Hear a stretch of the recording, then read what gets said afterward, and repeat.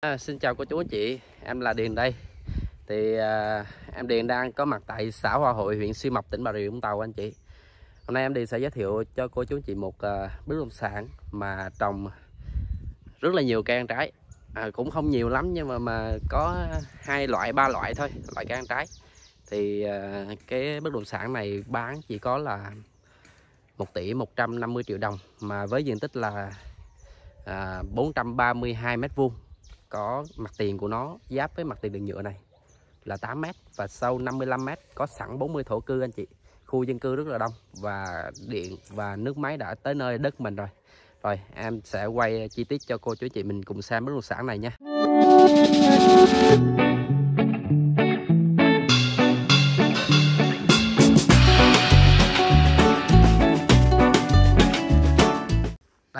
Trước mặt cô chú anh chị mình đây là mặt tiền đường nhựa rộng khoảng là 8 mét anh chị. Thì à, tới đây mình có cái ngã ba này à, có biển báo ha.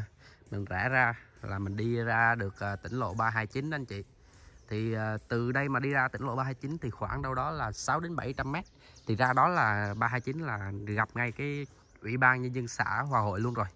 Và ở đó thì dường như là trung tâm rồi anh chị. À, cách cách ra đó thì chưa chưa tới một cây số đâu. Đó. trường học và chợ đò là gần đó hết ha và cái hướng sau lưng của em Điền đây cũng là tới đầu này có một cái ngã tư.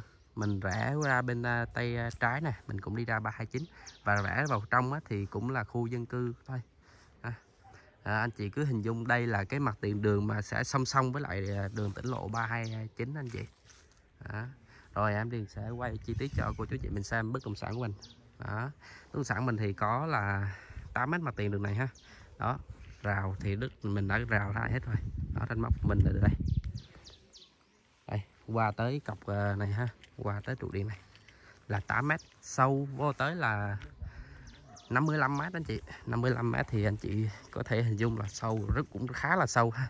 Sâu vô tới tút bên là sau đó ha. Đất mình đã rào cảm B40 hết rồi và có trụ rào rồi. Trong đất mình thì có trồng những cây ăn trái như là mít nè. Mít thì à, có hai hàng. Đó. Ờ, trước thì gia chủ mình có trồng ba hàng lận nhưng mà đã chặt hai hàng ở giữa rồi. Và, và trồng lại là trồng lại sầu riêng ờ, cái hàng ở giữa này anh chị. Đó. và hai hàng hai bên là, là mít thái anh chị. Đó. và có xoài một cây xoài ha đây ở trong phía trong mình. À, thì à, vào đây thì em thấy là nhìn xa em tưởng là sầu riêng nhưng mà người ta trồng phú sữa anh chị. À, một hàng vú sữa anh chị ơi. Vú sữa này thì em cũng không biết là vú sữa tím hay vú sữa nếp nhưng mà đây nguyên một hàng vú sữa ở giữa. Xanh kẽ giữa hai hàng mít đó anh chị. Đây. À, hệ thống tưới nước thì chắc là hệ thống tưới nước nước giếng. Không biết là giếng mình nằm ở đâu.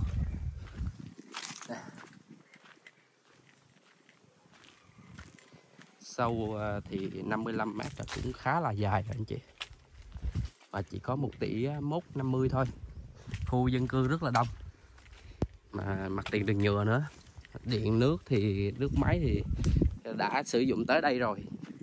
Nhưng mà hệ thống bơm của mình là nước giếng anh chị. Ờ. Đất mình sẽ dài lui tới đây anh chị ha. Đây, ranh của mình là từ đây ha. Qua này. Đó. Thì ờ, đã là đã đã là, là là rào lại hết rồi. Nên là ranh móc của mình rất là rõ ràng và có sổ riêng rồi nha anh chị. Mình anh chị mình ờ, chỉ có là thích thì mình về công chứng thôi chứ không lằng nhằng giấy tờ gì hết trơn cả à. À, như là em đi thấy là cái nước cái hệ hệ thống nước này thì đang sử dụng là à, sử dụng chung với ai đó thôi chứ không phải nằm trong nước mình. À, hồi trước là đất này à, thuộc của hộ bên này và bán lại cho ai rồi thì em cũng không biết. Nhưng mà đã đang sử dụng là hệ thống nước chung.